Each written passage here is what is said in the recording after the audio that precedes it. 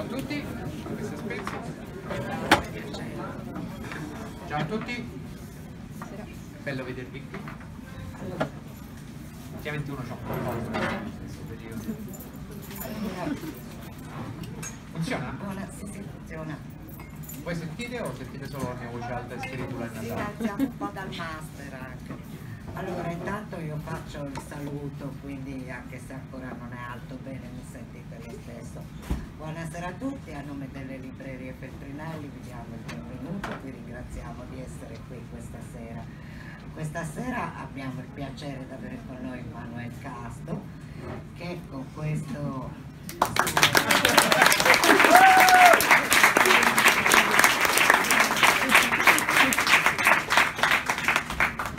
con questo suo album dal titolo L'età del consenso festeggia i 14 anni di carriera, quindi è il suo greatest hits. Insieme a lui a parlarci di questo eh, lavoro, questa sera c'è Roberto Recchioni che è fumettista,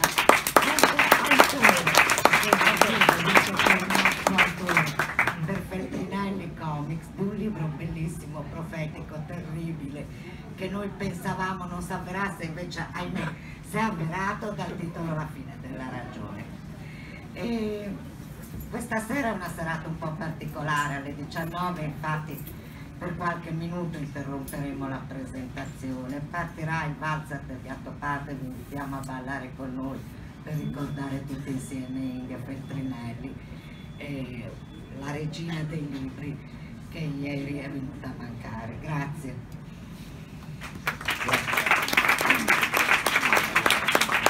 Ciao Manuel, come stai? Molto bene? Sì, si sente. Si sente, si sente?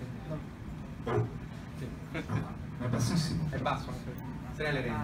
Vabbè, un'atmosfera così un po' intima. Grazie a tutti per essere venuti. È orribile però così, dai.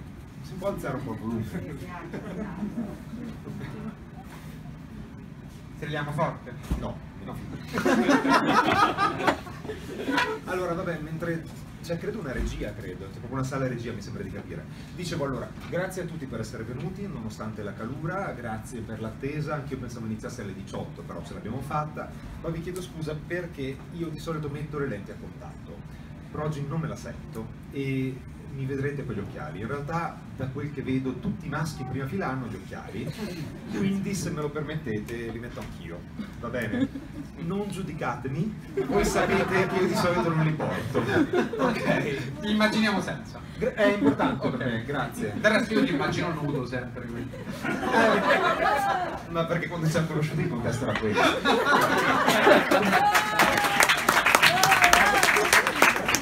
In realtà voglio davvero ringraziarti per essere venuto, innanzitutto perché tu odi questa città, non è vero, non è vero. E, è, è un, un artista, ma un intellettuale voglio dire, che stimo moltissimo e che si presti francamente per... Chi? esatto, come è successo un po' a Luca Comics. Quindi veramente lo apprezzo tanto, so che sarà un talk interessante. Vai veramente a ruota libera, sicuramente l'ufficio stampa ti ha imboccato, ma segui il tuo Mi ha cuore. imboccato in Esatto. maniera anche aggressiva. Eh, però la prima cosa che mi interessa dire è perché sono qui. Perché io sono un fan, fan quasi della primissima ora, mi sono innamorato del, eh, del tuo lavoro con eh, Escort 25, che mi ha letteralmente fulminato, poi sono andato indietro e da quel momento eh, ti ho iniziato a seguire. Quindi questo disco a me arriva importante perché eh, il punto, cioè in, questo album sembra che tu dici ok questo è il punto, il Manuel Casto fino a qui eh, è anche un, un modo per dire Manuel Casto fino a qui se mi, se mi conoscete riascolterete tutta una serie di pezzi eh, hanno fatto la mia storia in una versione nuova, in una versione eh, ripensata e forse eh, an- ancora più danzereccia per molti versi rispetto a quanto sono stati partoriti, ma a me sembra anche un modo per dire eh, se non mi conoscete eh, e vi siete persi tutta una serie dei miei passaggi, questo è il disco da cui cominciare. Mi racconti come nasce l'età del consenso? A cominciare dal titolo, vi prego. Esattamente, l'idea giusta. Il volume in realtà è rimasto lo stesso, direi che, che la promessa di alzarlo, una cosa tipo la flex Però cittadinanza. diciamo. Vabbè, però ci crediamo. In realtà adesso mi sento a mio agio. Sì, esattamente. È una, una raccolta, ma è anche un, così, non, non- non fare un, un punto a capo. nel senso che eh, son, ormai è un bel po' di tempo che, che faccio quello che faccio. La data è il 2004, indicata come inizio, quindi sono 14 anni rispetto ad oggi.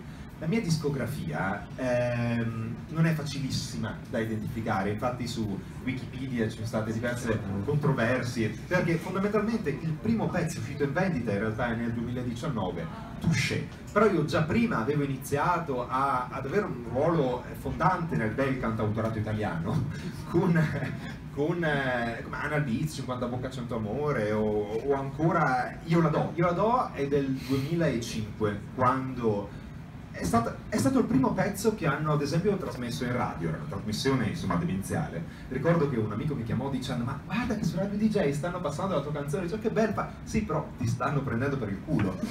no, questo lo deciderà la storia. No, ti stavano effettivamente prendendo per il culo. E, però anche prima, perché i primi esperimenti fatti, ed è buffo, perché adesso li definisco esperimenti, ma la prima visibilità che ho iniziato ad avere attorno proprio al 2004 è stata per questioni che adesso ci fanno anche sorridere, se non addirittura straniare. I primi articoli dedicati a me parlavano del fatto che io avessi aperto un blog con degli MP3 in streaming. Ah wow, avanguardia pura! All'epoca sì, all'epoca sì. Eh, di fatto io quando ho iniziato l'unico prototipo di social network era MySpace, fate conto, che poi in realtà è praticamente scomparso. Secondo me qui c'è qualcuno che non l'ha mai visto. Eh, può essere, magari l'hanno Tempo. giusto sentito parlare. E eh, col tempo poi, come dire, poi spero di non andare fuori tema, ma secondo me in realtà è proprio quello che volevi chiedere, o fingi che fosse così. Cos'è successo? Eh, per me è nato tutto come un gioco, ma credo che lo sappia anche tu, è una componente importante dell'arte, dell'intrattenimento, quella del gioco e il gioco, per essere tale, deve essere inutile. L'arte, in questo senso, deve avere una componente di finzione. E questo aspetto è rimasto. Ho continuato a giocare, semplicemente a un certo punto ho deciso di, di giocare duro, molto duro. e ho deciso gradualmente di mettere un po' di persona nel personaggio. Ecco, credo si possa dire dei, dei miei inizi che facevo qualcosa che adesso è molto comune, ma che all'epoca lo era meno. Parlo di quella serietà non raggiunta, di quell'effetto, ma lo sta dicendo davvero, dove se magari altre band storiche che eh, definite vogliarche, demenziali, dove l'intento era dichiarato, nel mio caso volete per, per, per l'estrema bellezza della comunicazione estetica, che creava questo pacchetto con questo effetto straniante, ci si chiedeva, ma è serio o no? C'è o ci fa? Di fatto, miss, esattamente, di fatto era una sorta di troll, in questo senso. Beh, il troll nasce come provocazione, tu hai sempre esattamente, esattamente. un po' reazione fortissima, poi è, è, stato uno strumento importante la provocazione. Esattamente, esattamente, direi che forse sono stato una sorta di troll antelitteram in questo senso. A un certo punto invece ho iniziato a, a non a prendermi più sul serio, ma a prendere più sul serio quello che stavo facendo e forse anche le potenzialità di quello che stavo facendo, anche in relazione a, a chi mi segue. E eh, in realtà eh, è dal 2015, eh, mi dimentico sempre in che anno sono io. Tra l'altro, eh, tipo, imparo la mia età un anno dopo aver compiuto gli anni, cosa che è avvenuta quattro giorni fa, se volete farmi gli auguri, grazie. Auguri! Grazie sono sempre strano, no? 23 anni, non ti sembrano sta roba, invece che sei arrivato. Esatto. E ehm, dicevo, è dal 2015, dall'uscita in realtà dell'ultimo album, perché poi è sempre così, è quando finisce la pressione che la creatività esplode, che sto scrivendo un sacco di materiale inedito e ora, presto per dirlo, ma spero di pubblicarlo l'anno prossimo, sto sperimentando una direzione diversa, prima avevo piacere di fare il punto con questo disco e di chiuderlo con due inediti quali Goodbye Milano e Piromane che per certi versi rappresenta un po' proprio, non so come dire, la somma del mio stile e del mio intento. Ok, questo è un po' per eh. rispondere al senso di questo disco, in realtà del consenso, perché eh, guarda, in realtà è la prima volta che trovo questa definizione, nonostante questa domanda me l'abbiano fatto tutti, perché è estremamente banale, no, perché è perfettamente sensata, perché adesso sono consapevole di quello che sto facendo prima era puro piacere. Senti, ma a margine, hai iniziato, hai detto nel 2004, hai fatto 23 anni, quindi hai iniziato a 10 anni, grosso modo, a 13 anni, grosso modo, a lavorare, complimenti, volevo portartene, sembravi più grande nei primi video. Eh, Vedi? Eh, capisci, ma sai, certe esperienze ti fanno crescere in fretta. E hai, hai toccato un argomento interessante, cioè della provocazione, e la cosa buffa è che oggi il, il trolling, cioè il provocare, sembra quasi inutile perché le istituzioni dicono cose così eh, aberranti che tu te lo guardi e sembra che forse essere ragionevoli e parlare in maniera ragionevole sia diventata l'unica forma di provocazione possibile. Tu nei tuoi testi hai sempre affrontato i discorsi sessuali, i discorsi, eh, il discorso del sesso legato al 360 gradi, cioè abbiamo un alfabeto dell'amore che ho seguito dalla A alla Z. Ehm, come ti trovi oggi nella, in questa Italia in cui abbiamo nuovo ministro della famiglia che dice Eh, eh, questa è la risposta. No, allora, eh, guarda, in, in realtà è uno spunto veramente interessante perché mi trovo spesso nella condizione di sentirmi dire cose che mi lusinga moltissimo, rattristandomi anche, che sono una delle poche persone che a livello di approccio e di comunicazione effettivamente cerca di fare comunicazione, cerca di far passare un messaggio da A a B in maniera costruttiva. Ed è paradossale se si pensa al fatto che la, la mia Weltanschauung artistica è incentrata proprio sulla provocazione. Il fatto che sono due canali. La provocazione è molto bella funziona molto bene nell'arte, per, per smuovere, per rompere, per attirare l'attenzione. Però una volta che la persona è stata tirata al tavolo, lì non puoi comunicare con la provocazione lì serve un altro atteggiamento e alla fine le domande da fare sono sempre e solo due. Di che cosa hai paura? Di che cosa hai bisogno? Sono veramente poche in realtà le persone che attivamente, usando un'espressione un po' naif, cercano di peggiorare il mondo. Le persone che lo fanno sono persone che generalmente non riescono a vedere al di là dei propri bisogni, al di là delle proprie paure, per tutta la loro vita. Generalmente sono queste le due questioni e, questo discorso si risolverà in non posso soddisfare io i tuoi bisogni e le tue paure sono infondate, nella maggior parte dei casi.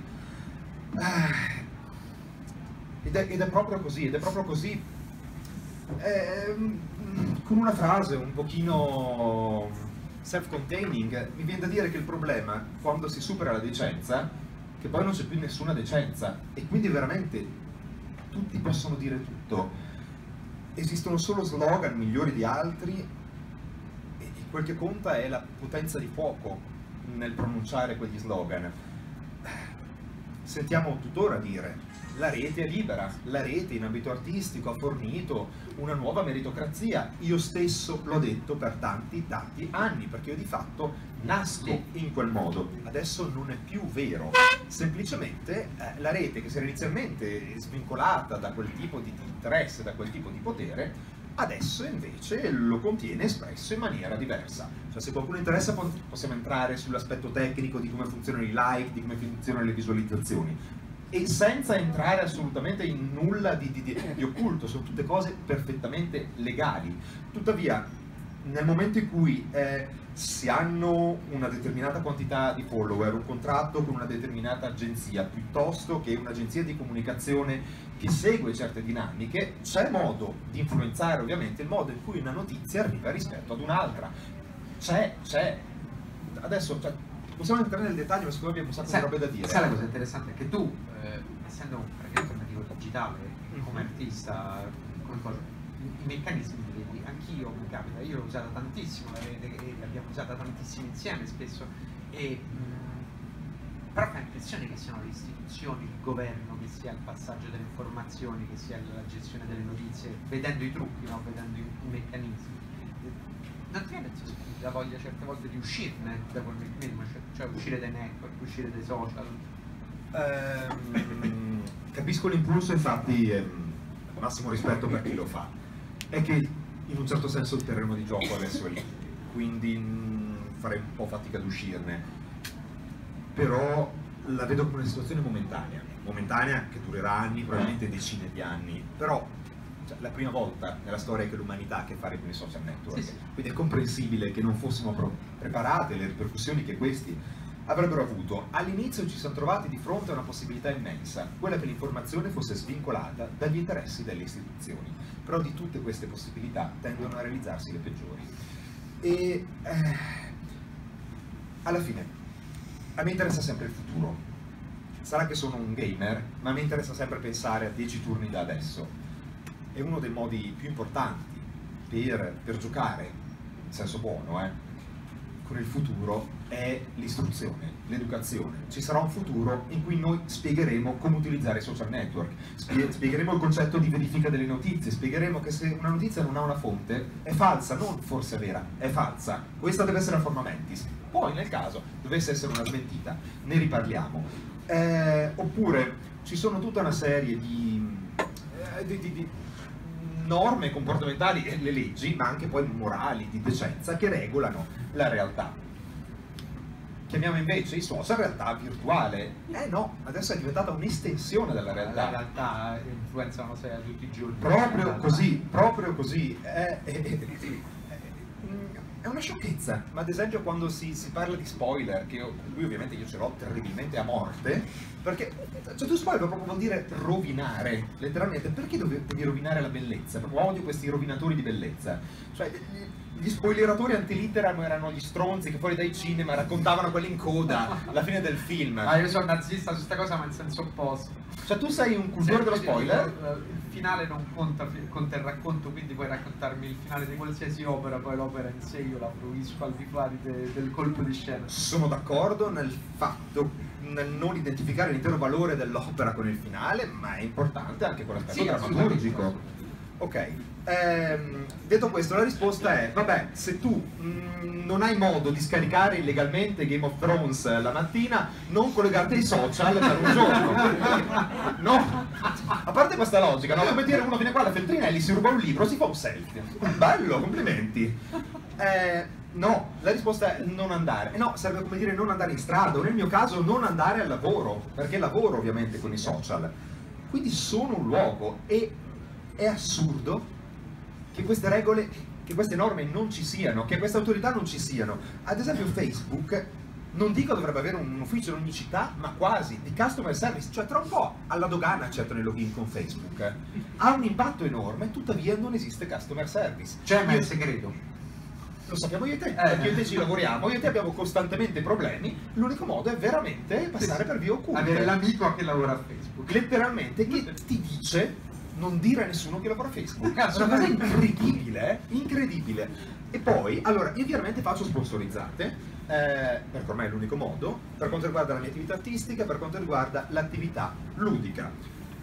E sebbene certi titoli siano anche dei top seller in Italia, rispetto al giro d'affari che certi multinazionali o comunque certi clienti possono portare a Facebook il mio irrilevante, vale a dire che all'inizio se veniva segnalata un'illustrazione vecchia di tre anni dove si vedeva un capezzolo, chiudevano la pagina e gettavano le chiavi. Perché rinunciare a quei tot di migliaia di euro non, non, non è, è, comunque vantaggioso rispetto all'impelagarsi in una, in una possibile controversia.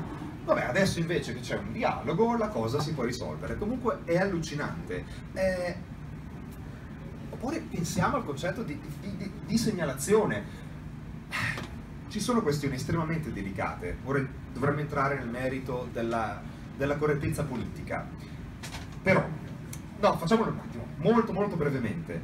Eh, per correttezza politica intendiamo quell'insieme di accorgimenti, eh, di, di norme, di atteggiamenti atti a tutelare la sensibilità delle altre persone, in particolare delle minoranze. Io ho fatto della scorrettezza politica la mia carriera, ora mi trovo a difendere la correttezza politica. Incredibile, eh? Ma in realtà perché io non difendo la correttezza politica di per sé, difendo il principio a tutela dalla quale è stata istituita. Perché quando viene fatto presente al conduttore radiofonico che si lancia in invettive omofobe, che è pericoloso, che sta facendo male a delle persone, ti risponde basta con questa correttezza politica. Basta con il buonismo. Esatto. Non è che lui stia criticando la regola, critica il principio, ossia la tolleranza, ossia il rispetto la regola la posso criticare anch'io, la regola non ha valore di per sé, può essere giusta o sbagliata, come la legge che andrà a, a proteggere la giustizia. La giustizia è un ideale, ma la legge la sappiamo benissimo che può essere perfettibile. Allo stesso modo, la regola è Questa parola non si dice, la regola la capiscono tutti, ovviamente. Può piacere o non piacere, può fregarne o non fregarne, ma la capiscono.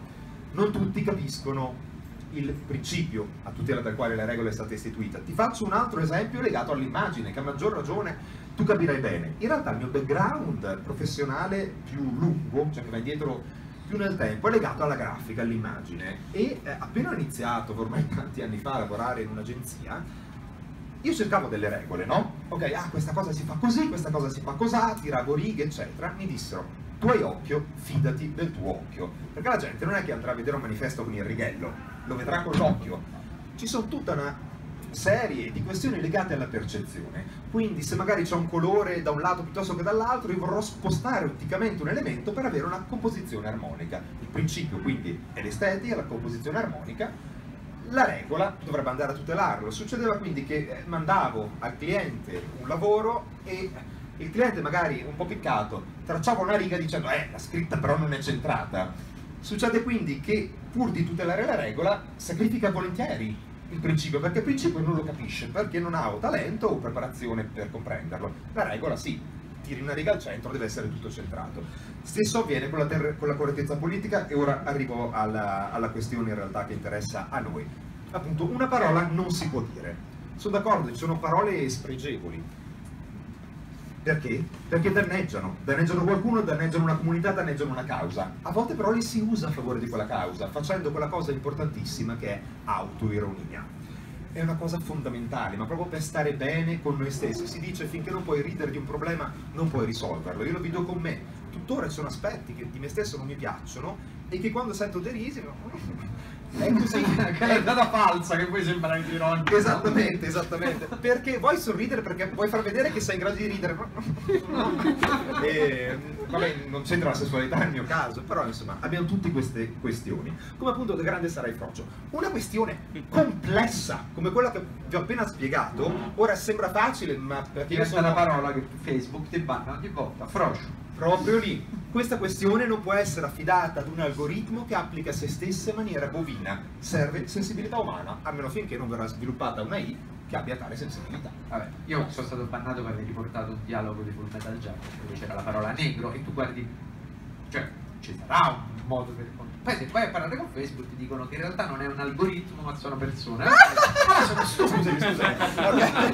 È un algoritmo. Non lo so, nel senso Conosco persone che mi giurano che non lo è. Allora, dipende a che livello arriva la segnalazione. 99 su 100 è l'algoritmo e basta. No, no, beh, io ho segnalato robe, gente sgozzata. No, non incita la violenza. sì, no, cose così. Beh, poi c'entra pure un meccanismo che è la visione americana di che cosa sia corretto, di che cosa sì. possa essere rappresentato. Comunque, Roberto, io ce l'ho, è la prima volta che lo dico. Un giorno faranno un titolo, sul, scusami, un film, sulle nostre vite, sulla nostra generazione, il titolo sarà belli e bannati. Quante volte ti avranno bannato? Tantissimo. E quante volte mi hanno detto che sono belli? A proposito di, del grande serie veloce, che... a proposito di bellezza, sì. è, è, diventato un inno generazionale. Tu prima hai parlato di parlare del futuro, quella canzone è stata amata tantissimo da, dai, ragazzini, ci sono identificati tantissimo, credo sia uno dei due pezzi che, che ci ha avuto il maggior successo. Corretto. E, come ti senti aver creato un inno che per quanto tu abbia 23 anni poi sei rivolto ai più giovani? Che cazzo sta dicendo? Dimentico le scemenze che Esatto.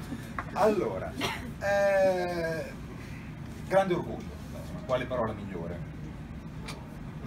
Poi prendiamo poi una parola sul concetto di orgoglio, mi è uscita da sola. Perché poi è pride, esatto. dentro tutto il discorso. Allora, orgoglio, soprattutto in italiano, ha una doppia accezione, anche una negativa. Cioè si dice l'orgoglio fa tanti danni, e questo è vero, eh, questo è vero. Però quando si parla d'orgoglio legato a queste questioni, non è in quel senso lì, non è l'orgoglio di avere una determinata caratteristica, perché appunto questa argomentazione poi si smonta con l'argomentazione fallata, e eh, vabbè, come essere orgogliosi di avere gli occhi azzurri, poi lì ha che senso? Però no, non è quello, è una sciocchezza. L'orgoglio non è riferito alla condizione congenita, ma al percorso di accettazione fatto, alla rivendicazione del proprio posto nel mondo, è quello l'orgoglio in questo senso. Torniamo a Da grande sarai frocio. Canzone, sì, che amo molto, è tra le mie preferite, tra quelle anche che preferisco cantare, è stata molto apprezzata, percepita anche forse in maniera più seria di come l'avessi mm, scritta io.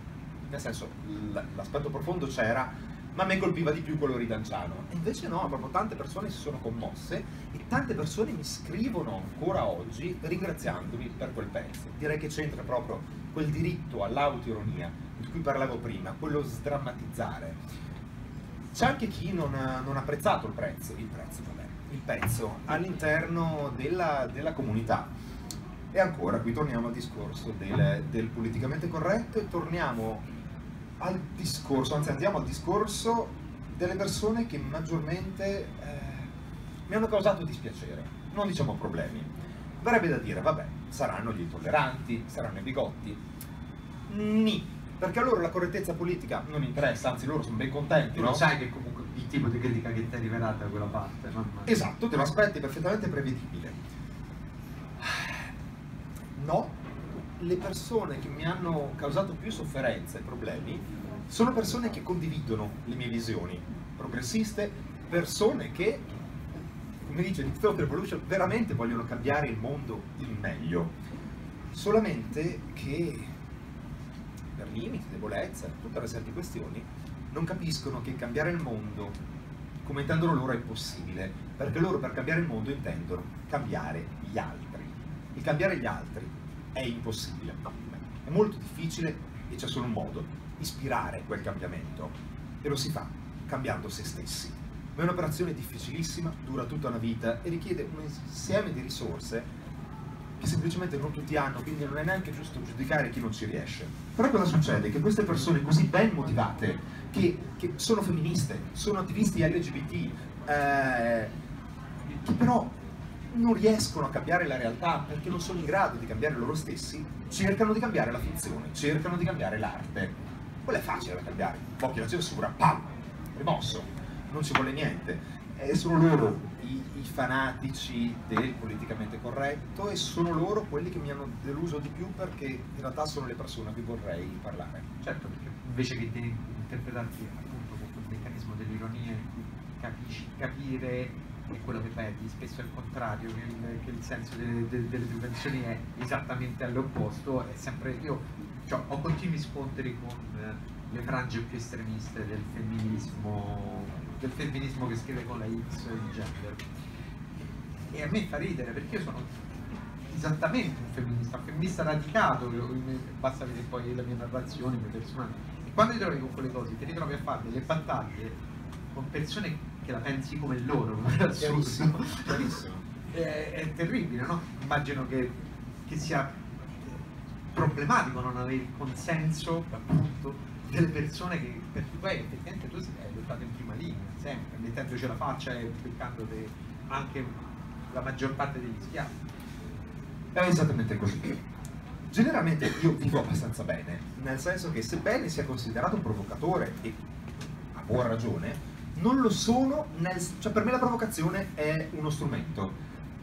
Io vi, giro, vi, vi giuro su tutto ciò che di più, di più caro ehm, eh, i miei gatti, che eh, conto in banca, allora, che mai mi sono seduto pensando ok faccio questa cosa per dare fastidio a qualcuno cioè non è proprio il mio modo di relazionarmi al mondo. Io dico faccio questa cosa perché qualcuno dirà oh finalmente qualcuno l'ha detto. Qualcuno che può dirlo l'ha detto. Non mi faccio problemi a scandalizzare i ben pensanti ma non è il mio fine a me non interessa. Quindi avendo questa prospettiva sono queste le persone a cui guardo sono queste le persone che ascolto e alla fine sarà una torre d'avorio che vi devo dire ma si vive meglio lì.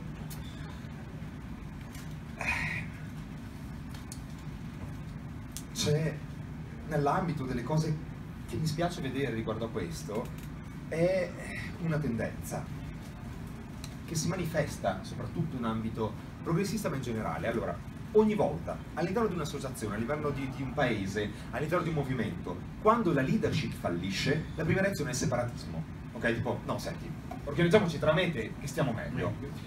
Che però in realtà è fallimentare in partenza.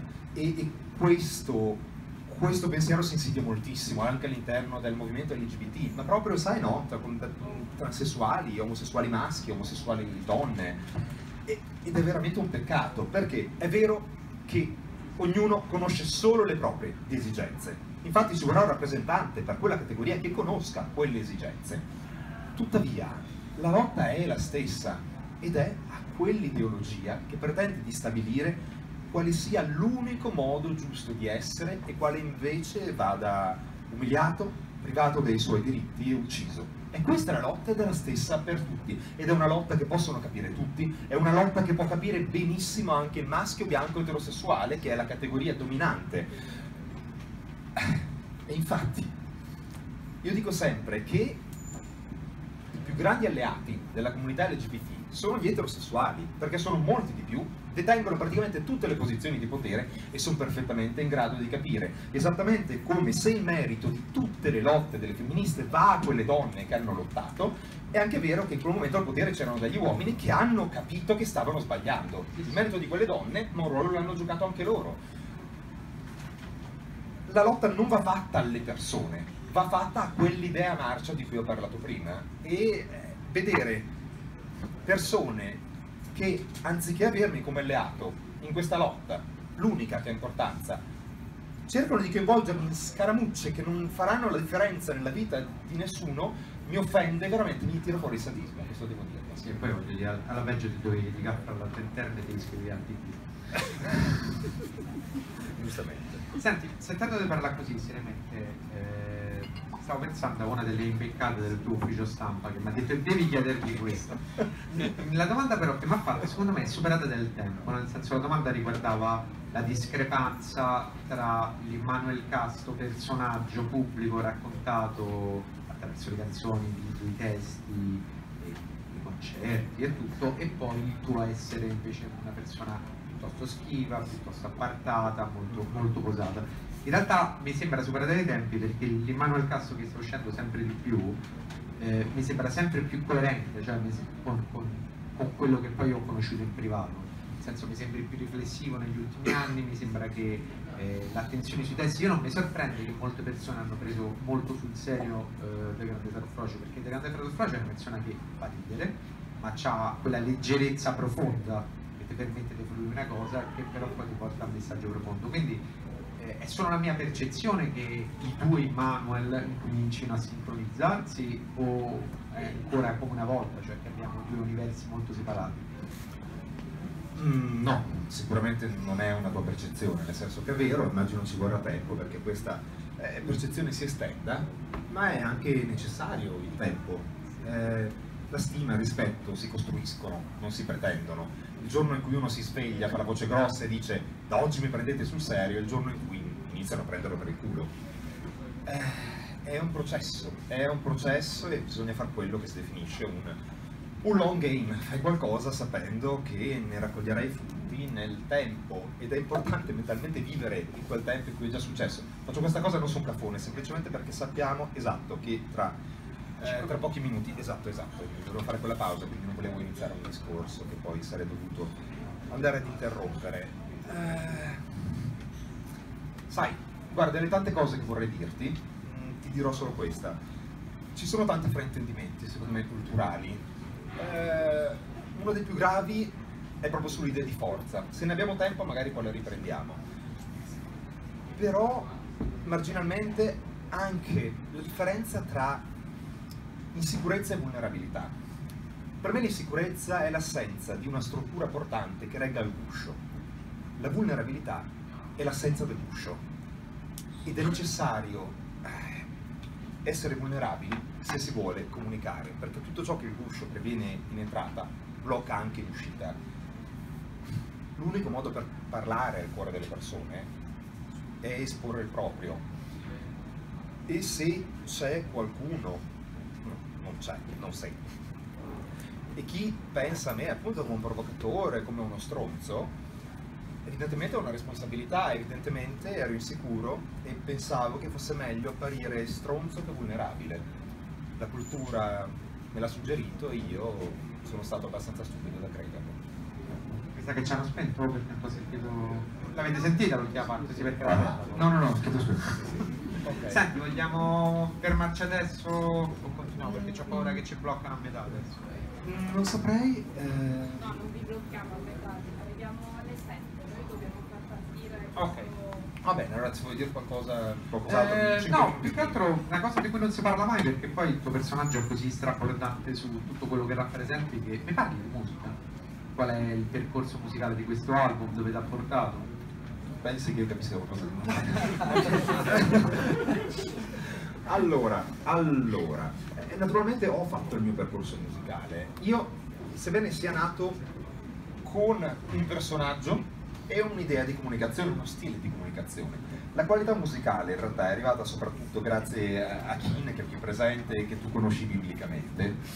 Passate insieme tantissime, tantissime notti in camera e in hotel. È vero! Vabbè, Purtroppo è vero, però. Sì, non per quello, però avete fatto quel che avete dovuto. No, più che altro perché è un brutto uomo.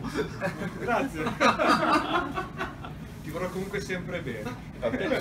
E, allora, a livello di gusti io nasco dal pop, ma che era anche ehm, necessario per il mio progetto di comunicazione, perché questo effetto di straniamento lo si poteva avere solo con il pop, perché con eh, il cantautorato più classico, con il death metal, con il punk, siamo già abituati a avere messaggi di rottura, ma sentire un messaggio di rottura con una piena musicalità pop, perlomeno in Italia, o perlomeno nella nostra epoca sono stato uno dei primi a farlo. In realtà, eh, non so come dire, raccolgo una grossa eredità, che è quella degli anni 80-70, dove lì di esempi ne avevamo, eh, sì. dammi una lemetta che mi taglio le vene, però è un pezzo pop. Eh, cioè, si trova un video del Festival Bar eh, dove credo eh, Vasco Rossi pro- mh, presenta Gio Squillo che canta Violentami sul metro. Violente, perché è un gran pezzo, Ma è meraviglioso, ma è piccolo. Allora, cioè, te lo immagini adesso, non lo so, tipo ad amici Mary Filippi, che presenta il suo inedito Violentami. Bene, io subito. Eh, no, oppure non so, sì sì, eh, esatto, anche lì, oppure dammi una lemetta che mi taglio le vene. Coprono nel serpente. Si gira, si snoda, no, come è? si gira, si snoda, si gira in chioda? Chioda. Come si snoda, si gira in chioda. Vedi, Ecco. Renato Zero, Rai, piena domenica, piena domenica in, eh? cioè è una cosa che pensi oggi. Incredibile, dice oggi cosa farebbe Renato Zero? Eh, dal Papa. Renato Zero è dal Papa a salutare, sì. Eh, è quello. E... Quella che è invecchiato. eh, che c'entra? Eh, se nasce incendiario, che si muore. Pompinaro. No, è anche nato Pompinaro, te lo assicuro. Eh, allora, Salutiamo tantissimo Renato. Sì, no, lo stimo tantissimo come artista e come autore. Eh, e questo ci mette anche un po' di tristezza, no? Perché partiamo dal presupposto che ci sia stato del progresso e invece c'è stata un'evoluzione, c'è stata una crescita del moralismo. Il moralismo, la mia definizione, come distingo il moralismo dal senso morale, ciò che è giusto e ciò che è sbagliato? Semplicemente il moralismo ci dice cosa si può dire e cosa non si può dire. Capite che è un po' difficile parlare di qualcosa se non se ne può parlare. Credo che la regia... Mi sa che la regia ti dice, anche perché sono le sette spaccate. Ma vieni dietro, quindi. Questo lì. La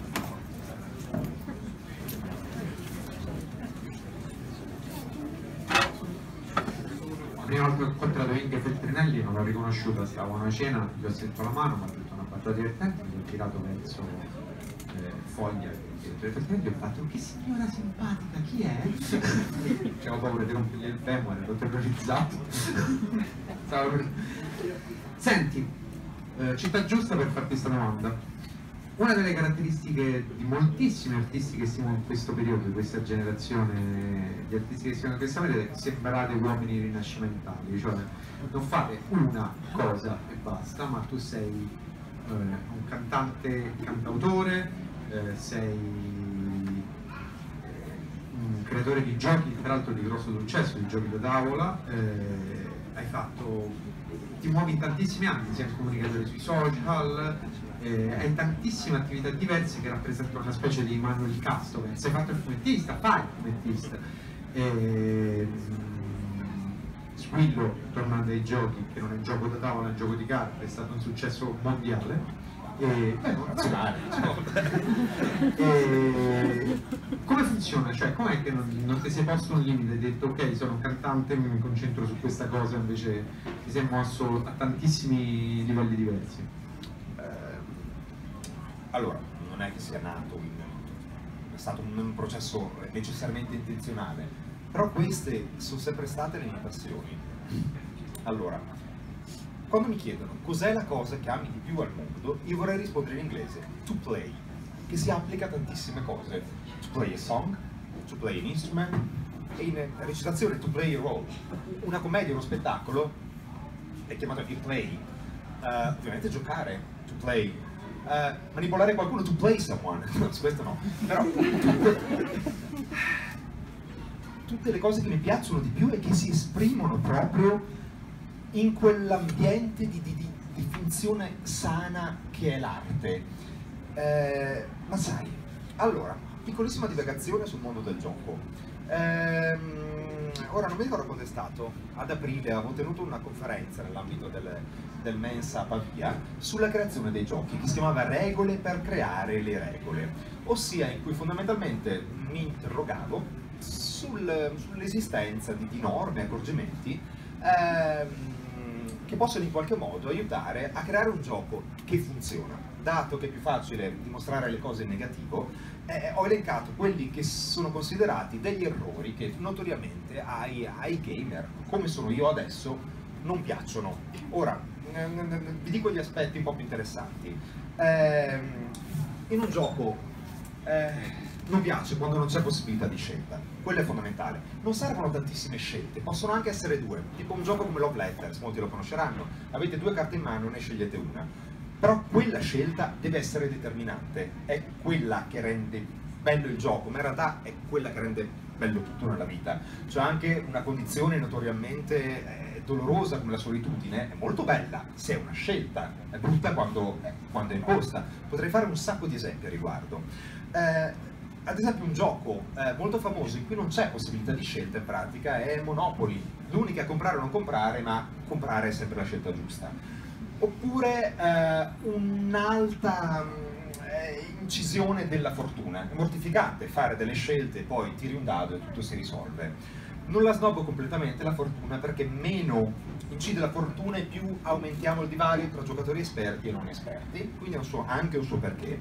Eh, però non deve essere preponderante. Di nuovo un gioco in cui la fortuna incide molto è Monopoly.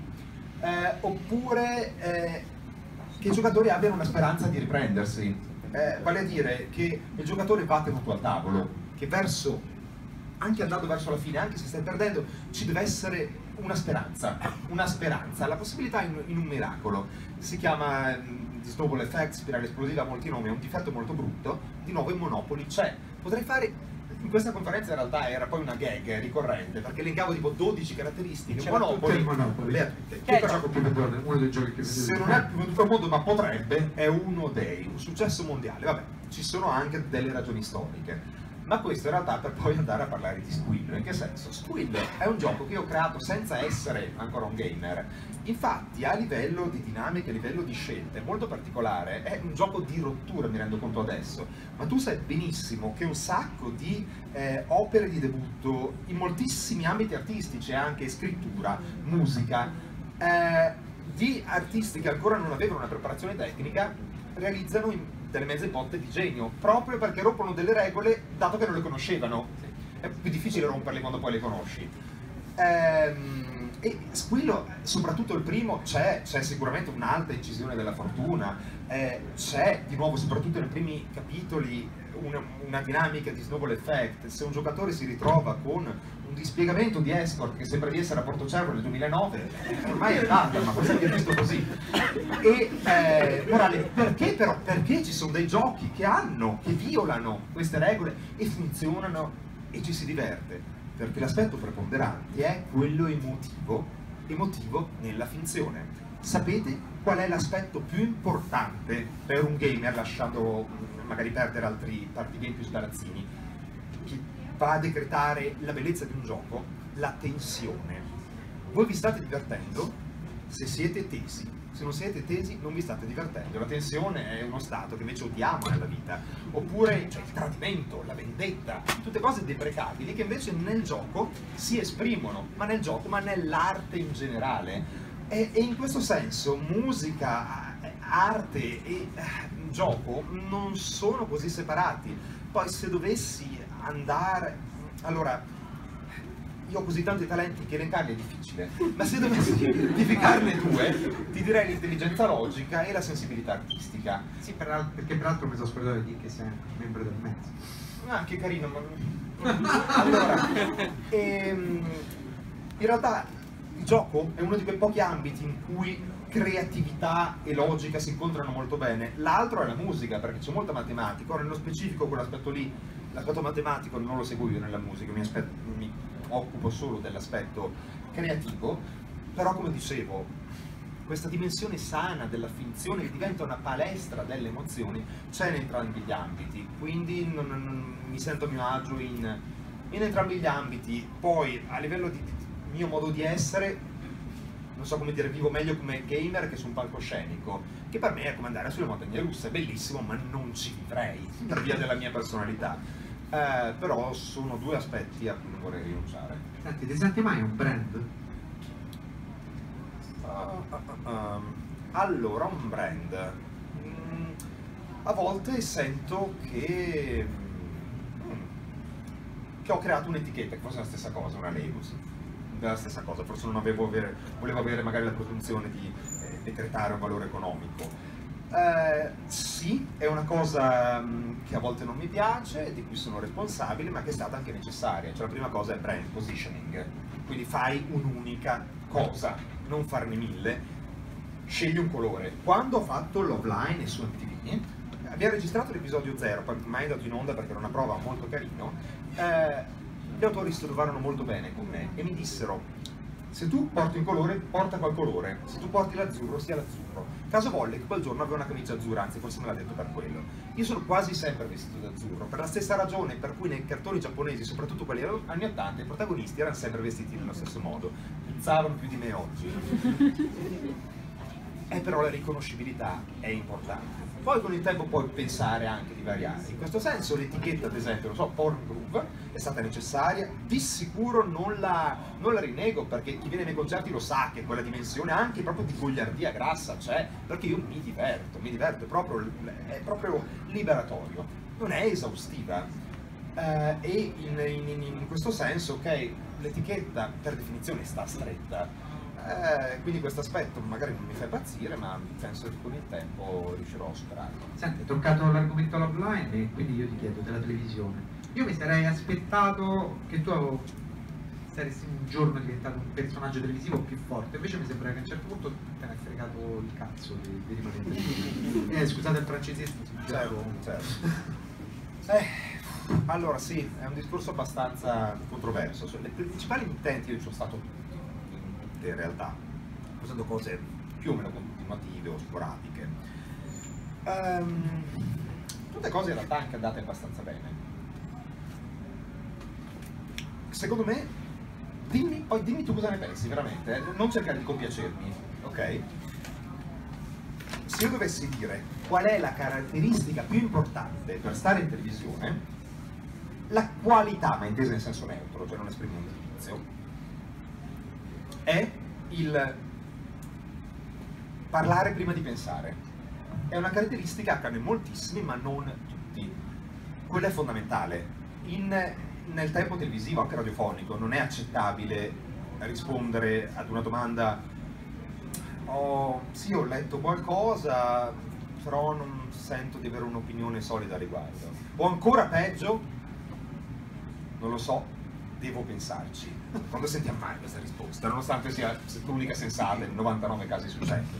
Non è una risposta televisiva. In particolare poi se entriamo nell'ambito reale, che io negli anni sono stato approcciato praticamente da tutti, con, eh, non so come dire, maggiore o minore slancio dall'altra parte, però da tutti i reality principali. Eh, Anche lì sono varie ragioni.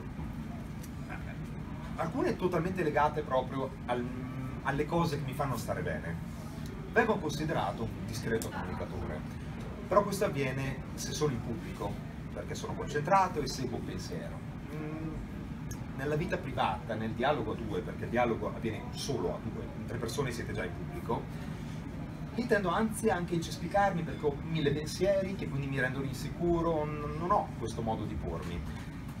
E francamente non avrei voglia di venire visto in quel modo di essere costantemente. E poi c'è anche una questione di, di, di legacy, che io comunque voglio lasciare. Io sento un dovere nei confronti quelle persone che mi ringraziano per averle ispirate, anche se magari con una canzone sciocca.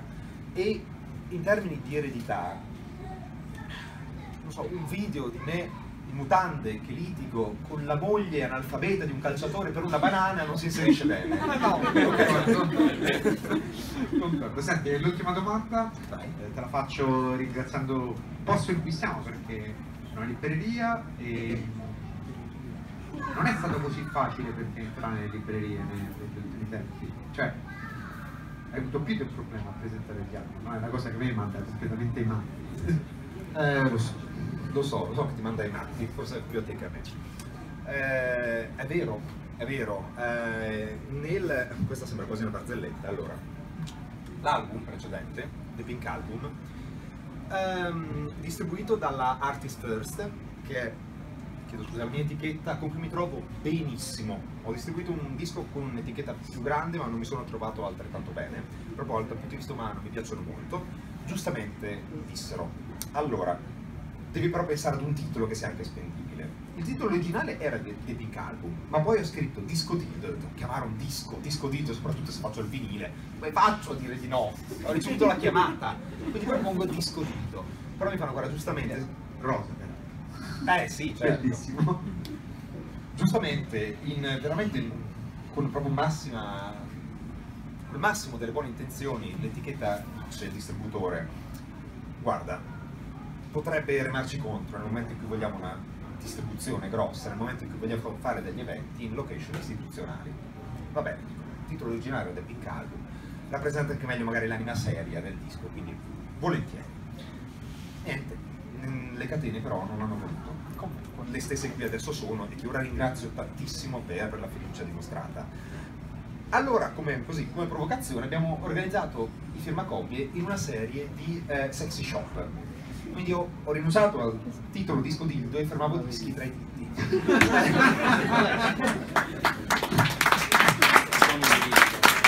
E vi dico un'ultima cosa a riguardo. Guarda che io non ho il dente avvelenato, mi spiego meglio. Recentemente sono stato ad esempio invitato ai Diversity Media Awards. Non a ricevere un premio come sarebbe stato necessario, ma consegnarlo. No, in realtà chi consegna il premio è la vera star, eh, perché non sai neanche se lo prendi il premio, mentre tu sai che lo consegni. Esatto.